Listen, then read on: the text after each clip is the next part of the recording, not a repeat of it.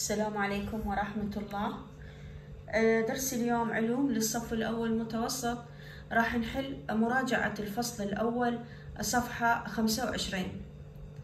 الجزء الأول آه، الفصل الأول آه، مراجعة الفصل صفحة خمسة وعشرين وستة وعشرين. أولا اكتب الرقم الذي في المجموعة B أمام العبارة التي يناسبها من المجموعة A. يعني هنا عندنا A وهنا B هنا الأجوبة راح يعني ناخذ بس ال ال هذا الرقم. آه، كل شيء له كتلة وله حجم اللي هي النقطة الثالثة المادة. التغير الذي ينتج عنه تغير في تركيب المادة اللي هي التغير الكيميائي. مقدار الحيز الذي تشغله المادة في الكون الحجم. غشاء رقيق يعمل على تقليص مساحة سطح السائل إلى أقل مساحة ممكنة الشد السطحي التغير الذي تم... الذي قد تتغير فيه بعض صفات المادة الفيزيائية دون تغيير المادة الأصلية هو التغير الفيزيائي. خاصية السائل التي بدورها يقاوم السائل الانسياب اللي هي اللزوجة. كمية المادة الموجودة في حجم معين اللي هي الكثافة. يعني إن هنا ثلاثة ثمانية اثنين سبعة ستة خمسة أربعة. ثانيا اختر الإجابة الصحيحة لكل مما يأتي أولا أسطوانة مدرجة تحتوي ماء حجمه معلوم.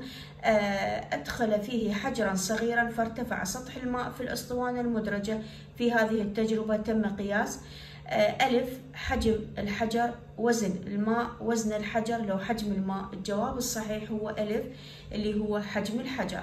ثانيا وحدة قياس الكثافة هي ألف غرام على سنتيمتر باء غرام على سنتيمتر تكعيب جيم غرام على سنتيمتر تربيع دال غرام في سنتيمتر.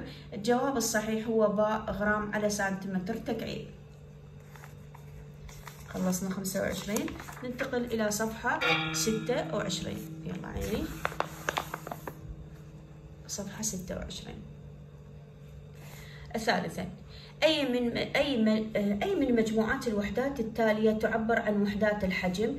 ألف غرام على سنتيمتر تربيع الباء غرام على كيلو غرام ml جيم سنتيمتر تكعيب ال على ml وسي دي دال سنتيمتر تربيع غرام ml إذ الجواب الصحيح هو حرف جيم سنتيمتر تكعيب ال على ml رابعا الكثافة تعبر عن العلاقة بين ألف الحجم والوزن الكتلة والوزن الكتلة والحجم والحجم والمساحة.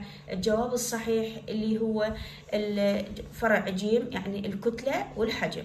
خامسا أي مما يلي مادة صلبة متبلورة الزجاج لو المطاط لو الجليد لو البلاستيك الجليد ستة كثافة المادة تمثل ألف ثقل المادة باء حاصل قسمة كتلة المادة على حجمها جيم حجم المادة دال حاصل ضرب كتلة المادة في حجمها الجواب الصحيح هو باء حاصل قسمة كتلة المادة على حجمها.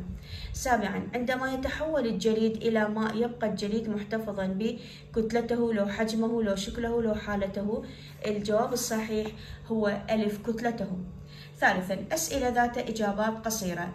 أولا ما المعادلة المستعملة لحساب الكثافة؟ قانون الكثافة.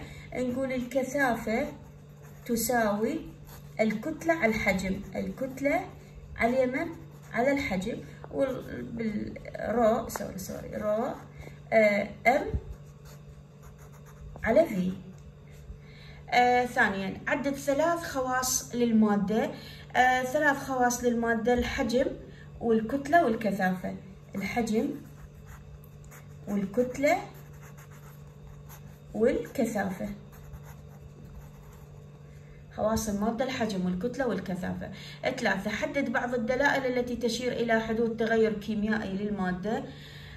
أولا نقول يصاحب التغير الكيميائي انبعاث ضوء وحرارة يصاحب التغير الكيميائي انبعاث ضوء وحرارة. اثنين سوف تنتج مادة جديدة تختلف عن المادة الأصلية. سوف تنتج مادة جديدة تختلف عن المادة الأصلية. تفكير الناقد. أولا لماذا لا يمكن قياس الكثافة بصورة مباشرة؟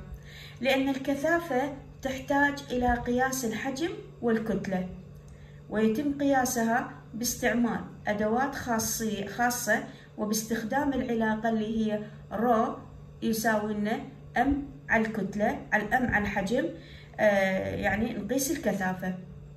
أعيده.